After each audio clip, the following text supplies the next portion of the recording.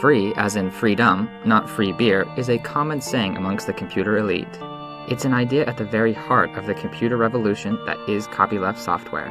A copyleft world looks very different than what has flourished around iOS and Android. Even though the core of Android is open, the way we make Android handsets is not. The manufacturers often have no idea how the drivers that empower their smartphone actually work, which is kind of scary. This forces phones to come out with similar specs and just about the same Android based OS. It makes you wonder what a world would look like if those proprietary locked away pieces of code got pushed out and treated like the untrustworthy crapfest that they are. After all, it's your computer. You should be able to study and understand what is happening. But you can't, because companies are worried that they won't be able to make as much money if you can modify your own device. These companies are protecting their IP in a way that makes it illegal to distribute modified copies of their driver. So even if you could decompile a driver and add something interesting, you wouldn't be able to share it with a community that's in the same boat as you are. With every company defending its own IP to this extreme, we the customers suffer. It limits what we can do with the devices we already own. There's a lot that Android phones can do that Purism's Librem 5 cannot do just yet but the Librem 5 is liberated in a way that has never been seen before.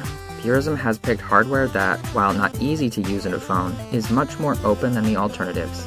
For example, the Librem 5 uses an IMX, which is a grouping of important chips like the GPU and CPU.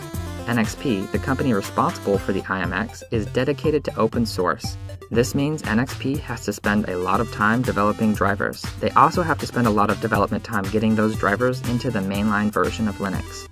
Paying for all that dev work is costly. It makes NXP chips more expensive compared to other chips with similar specs. The result of developing in the open like this is undeniable. People passionate about computers can use and improve NXP's drivers. Those same developers would likely feel encumbered by the numerous proprietary barriers floating around Android. I myself cannot stand it. Even using a hack to hell and back ROM, you can only get so much customization out of Android. At the end of the day, an Android smartphone is hardware running proprietary drivers and an old, heavily modified version of Linux, plus 80 cool apps and 3 million ad ridden, mostly proprietary useless apps, and you've got Android. The Librem 5 is hardware running on open drivers, at least on the main CPU, and is capable of running mainline Linux. Purism is dedicated to getting all of its changes pushed into the projects that they are based from. Where other companies would just fork Linux and use their fork of Linux, Purism pushes their changes back into the mainline kernel for everyone to take advantage of. Instead of demanding new apps be built for the Librem 5, Purism is building tools to adopt the Linux ecosystem of apps, which is mostly made up of open source software. It's all stuff made and used by the developers for the developers and to benefit the community of users. Instead of building tooling to help spam users with ads or pop up chat bubbles, Purism is enabling you to pick your favorite toolset and go nuts. While the end user story is still getting better as apps and features are added, the developer story is unparalleled already. Let's take a look at Android. The most common programming language is Java. The other official language for Android is dumbed down Java, or Kotlin. You can write a low level C or C program, but you'll still need to use the Android tooling and Android UI elements, which means you'll have to write an Android specific app. It also means you'll have to write a different app if you want to support anything else other than Android. There are other options, like Unity if you want to drop some cash, but at the end of the day, you'll be writing the Android way on an Android device. Let's see what it would take to build a simple application on Android. It seems Android Studio is just about required to do anything.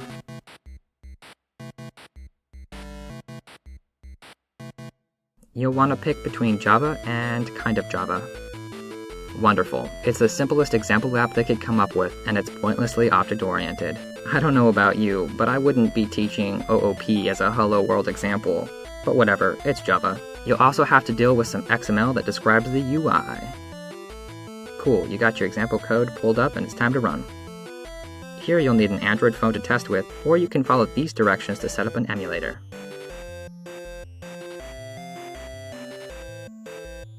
Finally, you can test your app and start writing some real code. Now let's take a look at the Librem 5. Librem 5 developers are mostly writing in Python, Rust, C, and Vala. But the Librem 5 is just desktop Linux, which is arguably one of the best development environments around. so really, the sky's the limit. If you're feeling really zesty, write your own programming language, package it up, and use that. There's nothing stopping you. Print hello world, echo hello world, display hello world, program hello world.